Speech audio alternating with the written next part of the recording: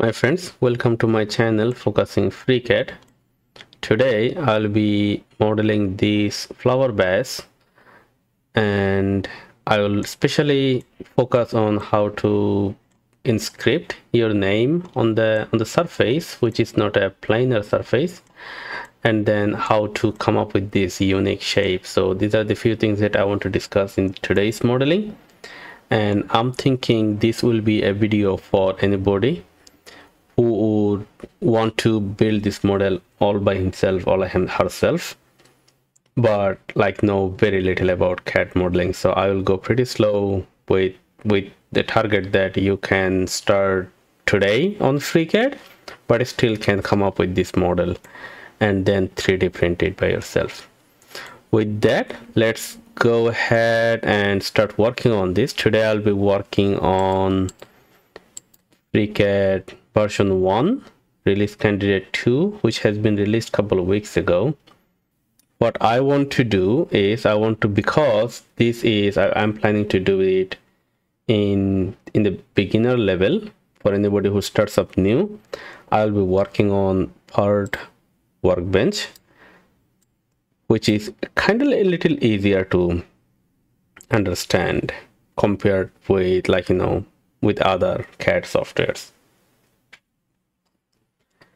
First of all, I want to go with the basics. So today we will be using this loft tool. So if, as if you didn't know what the loft is, let's go ahead and take a look at it. So I want to draw a sketch on say XY plane and I'm drawing a basic thing, very simple. And then let's not worry about the dimensions right now. So I got one sketch and then I want to draw another sketch but say some distance above this sketch. So 50 millimeter. I'm to go ahead and XY plane. I want to offset it by 50 millimeter positive direction on the Z. So if we are building that on XY plane this offset is on the Z direction.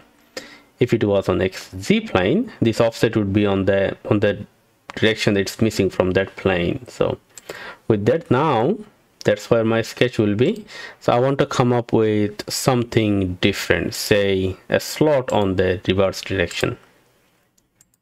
Right and then so we have two sketches and if we want to blend these two surface these sketches into one model one object uh, that would be loft. So we, what we do is we select loft and we select these two sketches and say create solid and hit OK. So that creates a solid encompassing these two sketches that we built. So we can have multiple sketches. If we have multiple sketches, we'll have to select them in sequence and that's the difference only.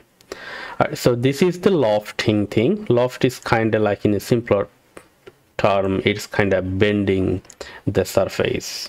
So it's if you want to speak in avatar language, it's surface bending.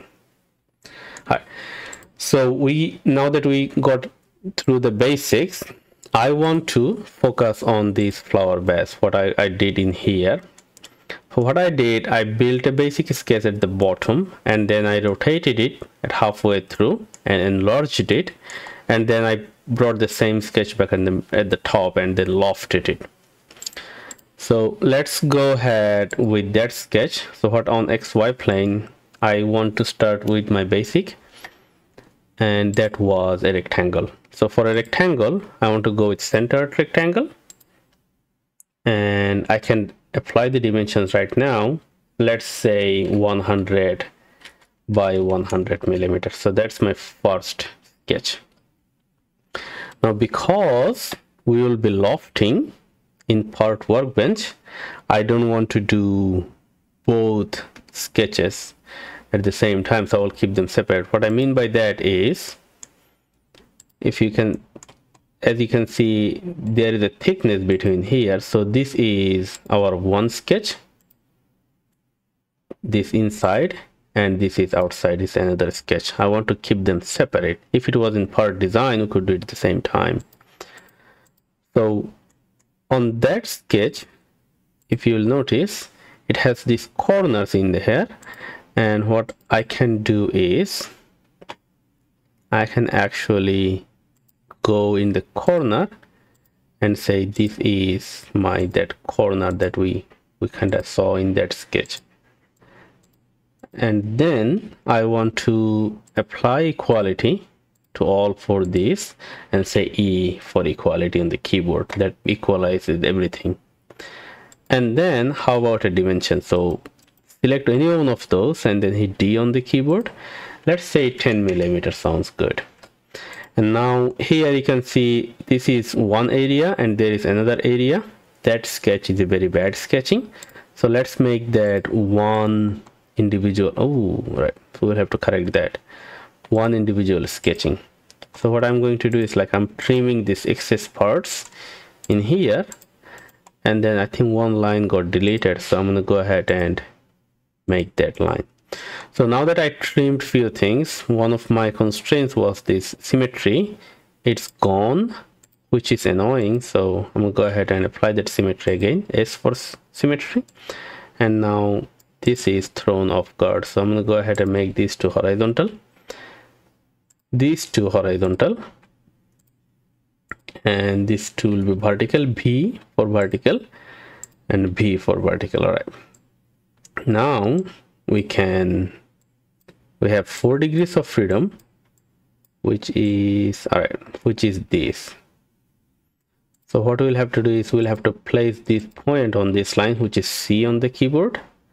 Do the same thing on here. It, all these constraints were there when you draw the rectangle but they are gone because of the trimming. I wish they stayed right, so i'm gonna go ahead and finish this part. So that is our one of our sketches. And then we can actually finish it up by introducing some smoothing curve here. So that would be sketch fillet. So let's do that. And that actually takes out my constraints one more time. So maybe I should have waited to apply the constraints for this at this step. So i'm going to go ahead and apply an equality constraint on all these edges. E on the keyboard and then say apply an arbitrary say five millimeter radius. All right i got lucky. Everything's there. So that is my first sketch. Right? I want to rename that sketch and say base. And this is going to be my outer so out. The inside sketch would be this thing but a little bit inside. And this that will actually determine what this thickness of this wall will be. So what I want to do I want to copy this and then paste it right? And then rename that say sketch base in and then let's go ahead get in there by double clicking on it and then select everything. So still you cannot do like double clicking on it. It should like select all of these. I guess it will come like in in future. But for now let's go ahead and select all the edges. Manually i did actually open up a ticket or like issue. Uh, requesting this feature where we double click within the area and then it will select all the edges surrounding it. I'm sure they'll start working on it any day now. All right so we get all the edges selected and then i want to say offset geometry and i want to bring it in inside. So that's too much. Maybe i want to make it what i did earlier is three millimeter so that is my wall thickness 3 millimeter. But notice how this this sketch is not bound like you know that 3 millimeter is not applied. It is applied it's here but the distance are not there. So what we want to do we want to go ahead and fix all of these in places. I maybe maybe i want to delete these. I don't want to keep them right now or I can keep them as construction geometry but I'm gonna go ahead and delete all of these. Outer we don't need that anymore.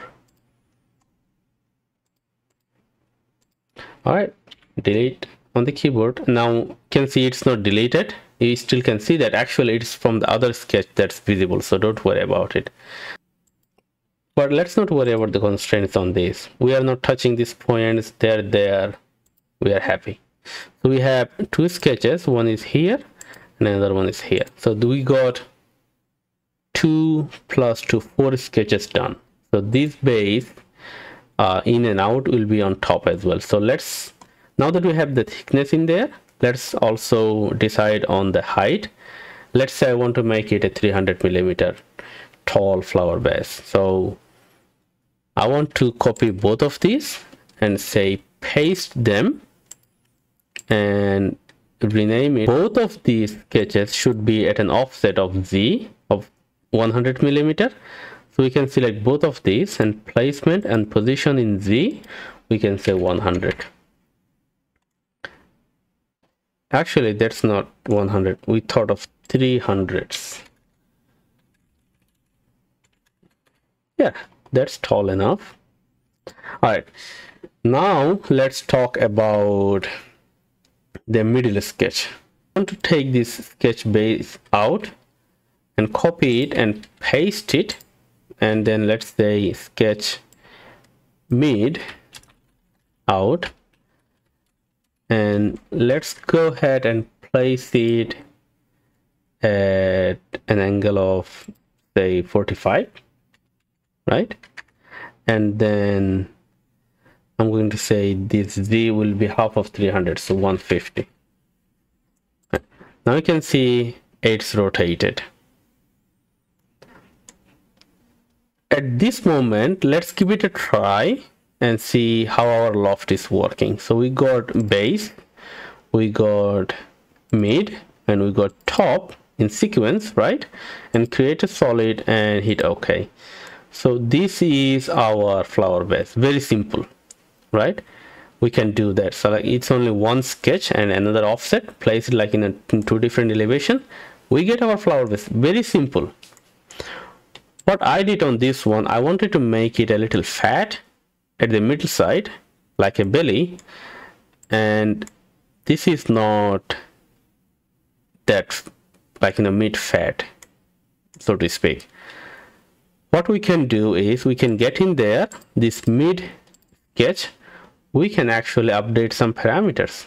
We can say this 100 will be 150 and this 100 will be 150 that kind of makes it a little wider in the at the belly level and then that makes our flower base the way we want it.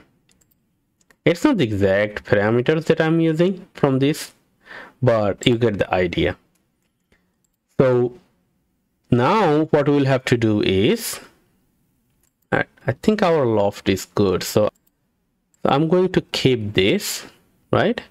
But make these sketches visible. Now I can go ahead and take this sketch copy it and paste it again and then say rename that. So a lot of copying and pasting and then it's all control C and control B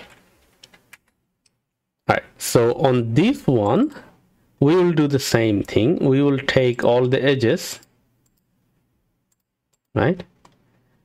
Take all of the edges and then come to offset. And then inside it will be like I think we said minus 3 so that will be our offset. Right. now the painful thing is like select all of these and delete. Right so we got our mid sketch. Now we can go ahead and make another loft. So let's go ahead and re rename this loft as the loft out. And we can go into lofting again and say now we are taking all the inside ones so it is important to actually name the sketches where you are working on these um, multiple sketches in lofting. So base in right we can see that. We can pull it in. And then we want to have the mid in there. And then we want to have the top in there. Either way it has to be top to bottom or bottom to top in sequence. And create solid and hit ok. All right now we have two pieces. So one is this is loft. To say in right so there is loft out and there is loft in. We have two bodies. Uh, one is thicker than the other. Now we can do a deduction. Deduction is called boolean um, in boolean operation in FreeCAD and so what we want to do we want to take this one and minus this one. So we select that one first the one that we want to keep and the one that we want to deduct and come here it says cut. So that's a boolean cut.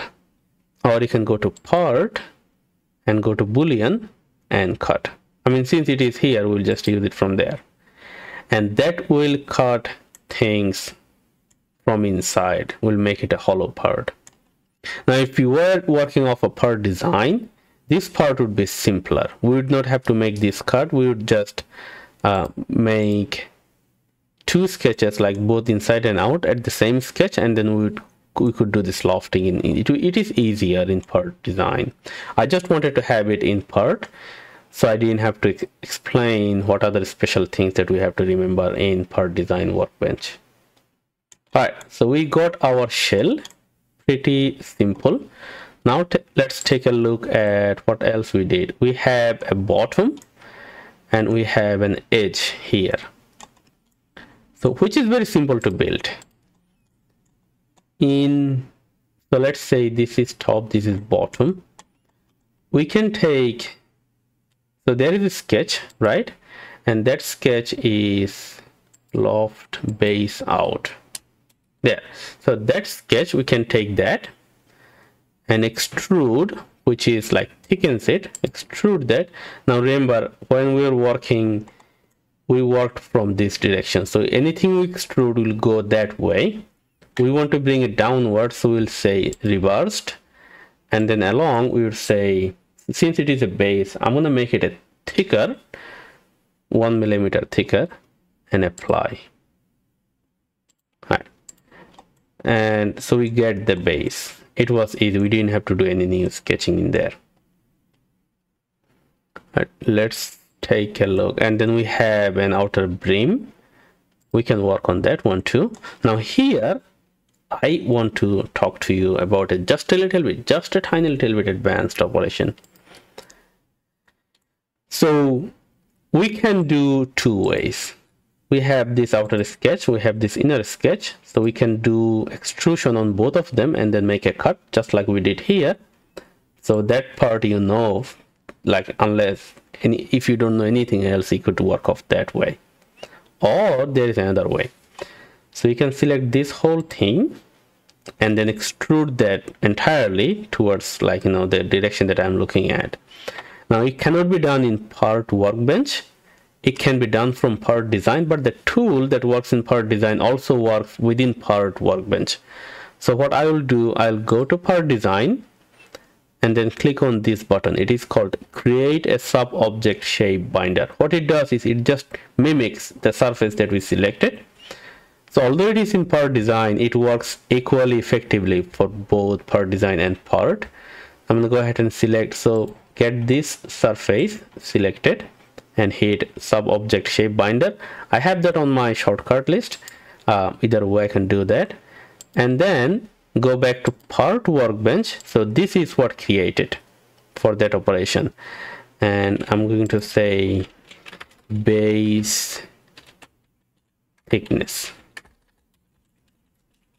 Right? And i want to now this we can extrude it. We can extrude it as if it was a sketch. And then i want to say this is so we already have four millimeter. And we want to make it a bit more so say eight or seven millimeter and obviously it will be reversed. There. What it does is oh okay. So maybe we should have not selected the reversed. So direction mode we can select. So select the extrude and come here on the data tab. It says reversed. We want to make it false. There. We have that brim created. Now this looks a little transparent because anything we create of binder it's um, default by default it's, it's a transparent option. We can make that zero so it's a thicker. We can even change the color of this part like the default one but let's not bother too much about color right at this moment. So we have that. This is the so let's rename that. I'm going to say this is the brim. And this one we can we can make it um, view or hide by pressing space on the keyboard. And this one i'm going to say this is bottom right? And now if you'll notice let's hide this one. Both the bottom and the brim starts from the same surface. So there are some overlaps which I'm, I'm just bringing this point up to you. Let's not worry too much about this overlap. It does not matter if it is overlapping like that because we are going to merge them together anyway. So i'm going to say this is base body. So what i want to do i want to take all these three. So this one this one and this one. So you can select it from here by pressing the control key on your keyboard and left mouse click. Or just select it from the tree view. Because you named them accordingly. You know which one is which one. Select all of those. And then come here say union. And so looks like it's gonna take a minute. All right there it is. So we have a complete flower base built in FreeCAD which was pretty simple I'm gonna say. Uh, very simple object as a beginner in FreeCAD. Alright, now we have a solid object. Now let's focus on how I wrote these names on here. So if you are wondering who's Jonathan and Alexandra, those are my co-workers. They are getting um, they are getting this gift. So in this example, I won't be using their name, I will be using something else. We want to draw something on this surface which is not linear, right? It is not a planar surface, none of these. And we want to draw something. If it was like a plane like this, we could actually make something up and then boolean uh, union it. But this is not planar and we will be using a another tool from the curves workbench and that is called sketch on surface so to write anything we will be using sketch on surface if the surface is not planar. So what I want to do I want to rename this as base uh, no name right? And then select the surface that we want to work on and come here in the curves workbench and say sketch on surface nothing happened except that there is a new thing in here. On the left it says sketch on surface. If we expand that by clicking this drop down there is this mapped sketch and it's not visible. You can take a look at it by so this is grayed out this is solid black so this is visible this is not visible. Let's make that visible by pressing space on space on the keyboard. Nothing happened so double click on it and we see that there is this boundary. It's coming up with from that that.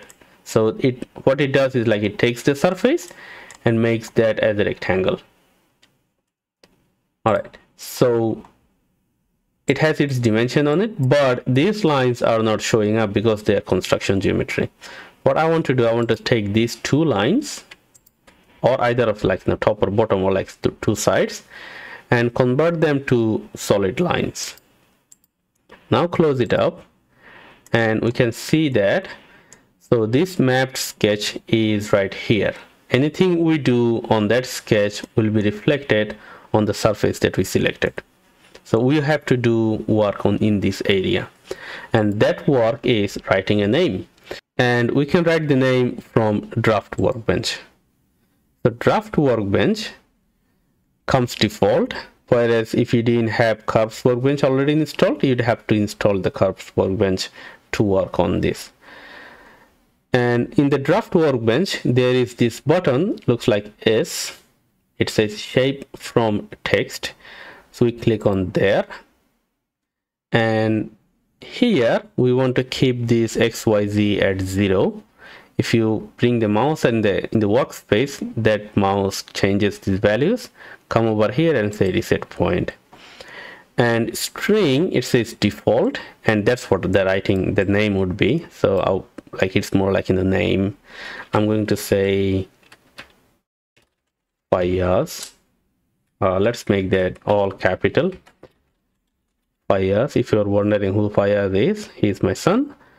And just know that this, there is 10 millimeter height right there. We'll have to update that. And then for you, if you're working on this um, first time, you would have to select a font. So I have that font selected. What I did is, let me show you this. So I have the FreeCAD folder and then there I kept this font so i would recommend you to do the same or like you can just go to your windows um, font directory and select a font. So for this one i just downloaded a font and then kept it in this folder and then selected it first time. It's remembering that location. So select the font right and hit open. And then again reset base point at 000 and hit ok. All right where is that shape string? Oh it's right here. I should probably hide this. All right oh look at that. There's the sketch on surface that it's showing but it's not we didn't know that because it's kind of right here. Anyway. So there is Fayaz and this is this em empty space that we want to fill in with this name. Obviously what we'll have to do is we'll have to do two things. Enlarge this and then rotate that so let's do the first thing first. I want to rotate it. So right click on it and transform. Brings out this axis cross. And we want to rotate it just like that. Okay i have this rotation increment at 20 which is not matching up to 90 degrees. So let's make that 15 and then now rotate it six times. And then also bring it down somewhere here in the middle. Maybe pull it up here too. And then let's try to enlarge this. So select on the shape string and come to data tab. There is this size 10 millimeter. Maybe we want to make it 50 yeah that sounds good. Uh, you can make it 60 right that's also better. Takes out more space. Let's keep it at 60 and then we want to transform it one more time trying to make it kind of centered. We can adjust this location later on as well.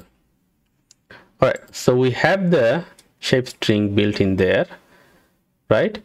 And on the mapped sketch so let's hide this one. On the mapped sketch it's still empty. So we'll have to bring that shape string in the map sketch. So we can do that by i think our work on map sketch is done. So let's go ahead and hide this for now. So let's go ahead and make that gn the construction geometry. And there it is. And now we can so hide this and then go to sketch on surface and come here and say extra objects from there I want to select this shape string. Maybe before I do that let's go ahead and say all right now it will be easy to find. So we go to the sketch on surface and then extra objects and then select Fayaz hit ok. What it does is now this text is kind of reflected on this surface. Very simple. Now if you are asking so why we had to make these two lines solid first and then we bring it back to construction geometry? Because we wanted to have this name this Fayaz name positioned in the middle of between those two lines. So between the mapped sketch so let's make these two solid again. So we wanted to have this name placed in the middle of these two lines and that's the only task this mapped sketch does unless you are actually drawing something in there. What I mean by that is like if you want to go ahead and draw a circle right there it will also show up in here. So if you want to draw something draw that between these two lines. Or if you're just writing the name add that name from extra objects. Right? Let's go ahead and make this back to construction geometry and then delete that extra circle. All right so now we have the name on the surface but notice so we don't need this hide that one for now notice how this is lines only. It doesn't have anything in the in the middle. And it's not generating any 3d effect. Like here it has a 3d effect. It has indentation in the inside. So what we want to do is come here on sketch on surface. In this data tab on says fill faces so it has to be sequentially. So go ahead and make that true. What it does is that actually fills the faces in between two lines. All right. And then come here on the offset. So offset and thickness are two different things goes two different ways. Offset is like how far you want to push it. So let's go ahead and make offset 2 what it does is now this this writing is detached from the surface. It is still maintaining the curvature. Uh yes curvature or like in a surface profile but it's like detached by two millimeter because we said offset is 2 so if we want to take it downward maybe we want to put a minus in front of the value. So now it's inside there it's there. It's one millimeter down because we said minus one. All right now with that let's go ahead and apply thickness of two millimeter. So what it did is it took it down one millimeter downward and then pulled it up as a 3d object. So this thickness is two millimeter. Yes exactly. So now we have this 3d name embedded one millimeter inside and it is pulling out one millimeter. So if you want to 3d print it right now it will be you could feel it with your finger. It's extruded one millimeter outside. Or you can make an indentation. So you can uh, the depression we can make a depression by selecting this. Let's go to part workbench. So we want to keep this and delete that and make a cut.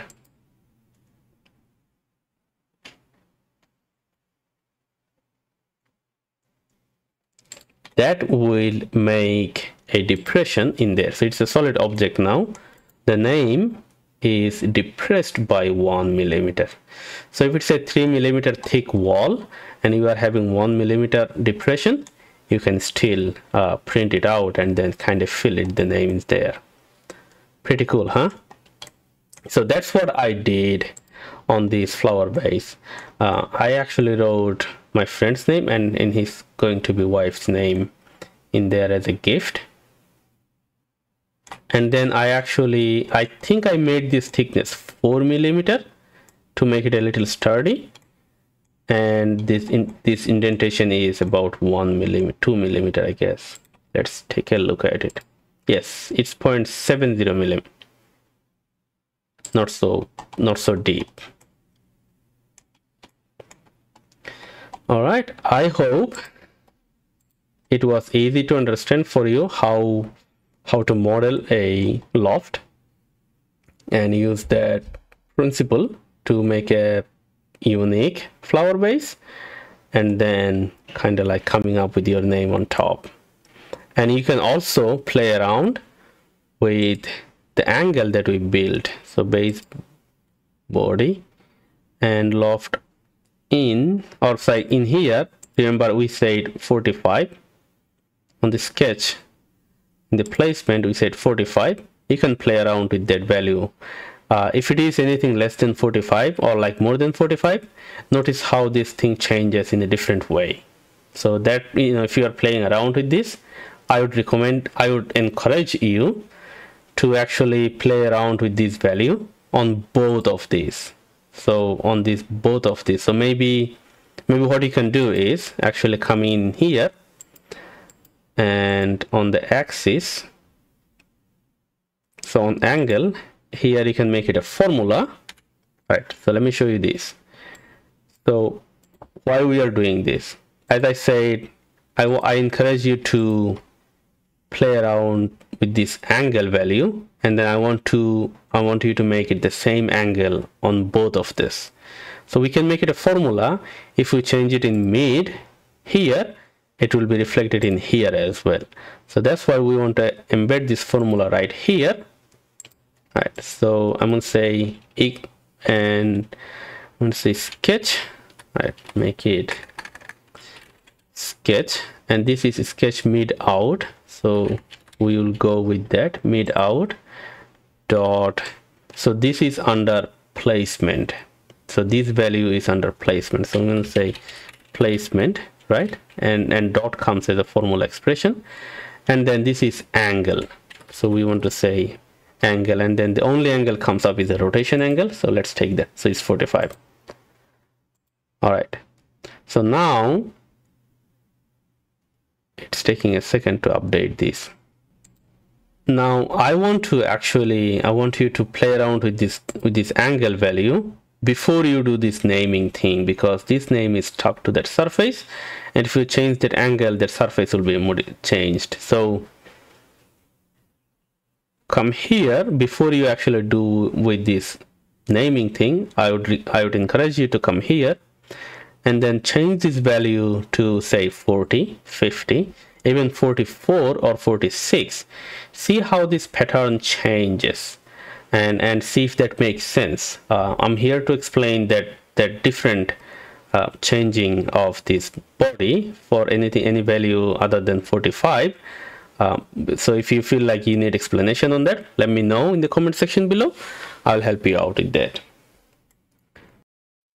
If you wanted to download this model i am going to upload this in my Ondsel lens library right now so that way you can play around with this if you wanted to. So address is lens.ondsel.com and i'm going to go ahead and upload. So this is my own li library. All the models that i've been building i'm uploading them here one by one. Um, so i want to continue that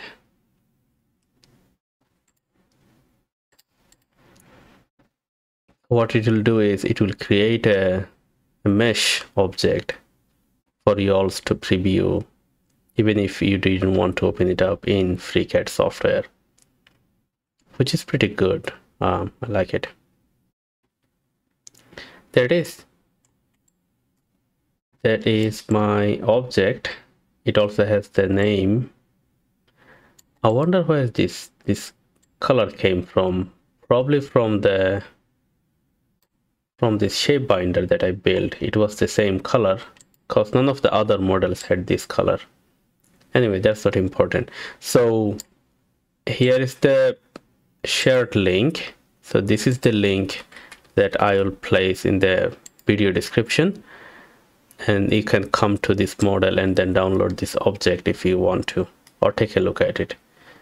And also take a look at my other models that I've been building um, over the time and download them as you wish. This model I came up with about a week ago and because I don't have a 3D printer I uploaded this model to an online 3D printing service. They printed it pretty quick and sent to me. Look at that. So this is the flower that I modeled about a week ago and then I ordered it to 3D print. And this name feels pretty good to actually so 0.70 millimeter thickness uh, indentation. It's pretty clear. It's so you can you can take a look at it and then you can clearly see it. So it's not it's not that shallow someone say anything between 0.5 millimeter and 0.7 or like 1 millimeter indentation is, is a pretty good um, thickness to visually look at it. And then I modeled this in blender as a red color. It came out really great. So if you want to give it a try and then print it in different colors it will probably look better but I, I like it. I hope my friend will like it. It's a gift to them. My friends I want to wrap it up here I hope this process was easy to understand and I did not go too fast. If you have any questions on how to model this or like this idea if you want to use this idea to come up with your own flower vase and then if you have any questions in the way please let me know in the comment section below. With that i want to thank you for watching this video and i hope to see you in one of my next videos. Stay safe